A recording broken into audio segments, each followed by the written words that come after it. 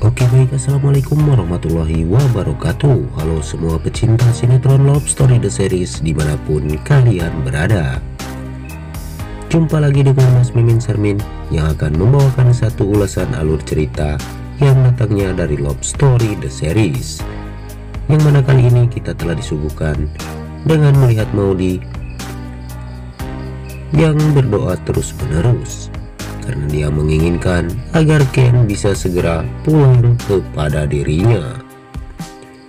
Tapi sebelum lanjut lagi, Mas Mimin doakan agar kalian semua disehatkan dan dimudahkan rezekinya. Amin ya robbal alamin.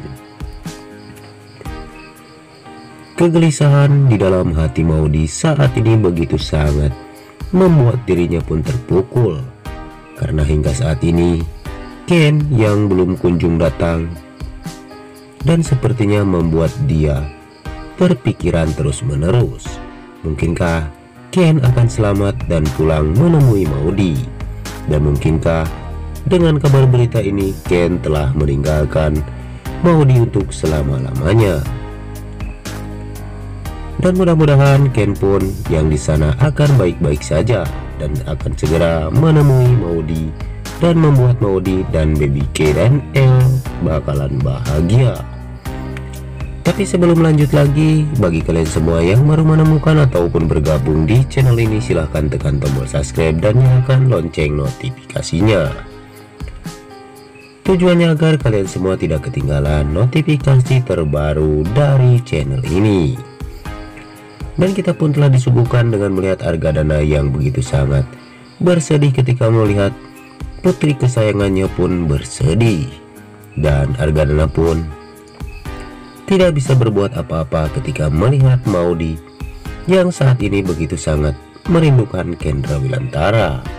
Sampai-sampai Baby L pun mengalami sakit karena dia saking rindunya terhadap Kendra Wilantara. Sehingga mengakibatkan Baby K dan Baby L tidak sepenuhnya terurus karena pikiran Maudi pun saat ini kacau balau ya guys. Dan mungkinkah keajaiban pun akan datang kepada Maudi dan Kendra Wilantara. Dan segera dipertemukan dan kebahagiaan pun akan datang kepada kedua buah hatinya. Dan mungkinkah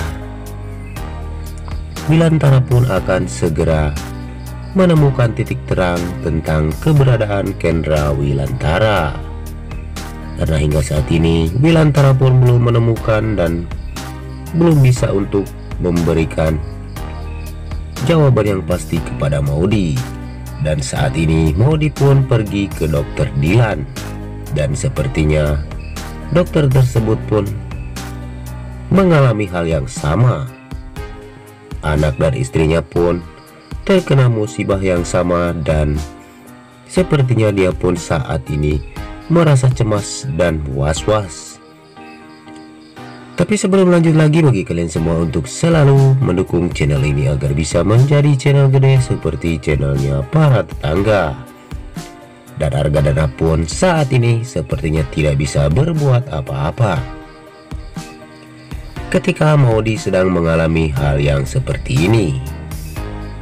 Mungkinkah Maudi pun akan segera mencari solusinya agar bisa untuk menjadikan buah hatinya pun bahagia. Dan mudah-mudahan semua itu bakalan terlaksana dan terjadi dan Ken pun bakalan pulang bersama dengan Wilantara ya guys. Dan saksikan kelengkapan sinetron Love Story The Series yang selalu tayang hanya di SCTV 1 untuk kita semua. Dan mudah-mudahan Kisah Maudi bersama Ken pun tidak putus di jalan karena saat ini sedang diuji dan dicoba oleh Yang Maha Kuasa karena cinta itu ada dan keajaiban pun, keajaiban pun pasti akan berpihak kepada orang-orang yang benar. Dan kita pun telah disuguhkan dengan melihat Baby L yang saat ini merasakan tidak nyaman karena mamahnya yang saat ini terlalu lampau pusing dan stres ya guys dan mungkinkah semua ini tidak akan berlarut-larut lama dan akan segera untuk kita saksikan tentang kehadiran Kendra Wilantara menjemput Maudi bersama buah hatinya menjadi bahagia. Dan saksikan kelengkapan sinetron Love Story The Series yang selalu tayang hanya di SCTV 1 untuk kita semua.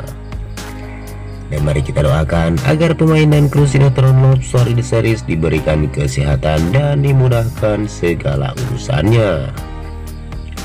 Dan jangan lupa Mari kita doakan juga agar sinetron Love Story The Series bisa bertengger menjadi rating nomor satu ya guys Amin ya robbal alamin Dan saat ini Dilan sudah terpengaruh oleh si Anita. Mungkinkah Dilan pun akan percaya kepada Anita Kalau dirinya telah dibohongi oleh si Anita? Dan kita pun telah disuguhkan dengan melihat Vanessa yang saat ini sedang menunggu kehadiran suaminya Karena dia pun sudah terkena tipu oleh si Dobang ya guys. Karena saat ini Dobang adalah ayah daripada si Andi. Dan mungkinkah Vanessa pun akan kecewa dan akan melarikan diri dari cengkraman si Dobang saksikan kelengkapannya hanya di SCTV 1 untuk kita semua. Waktunya Mas Mimin pamit undur diri. Wassalamualaikum warahmatullahi wabarakatuh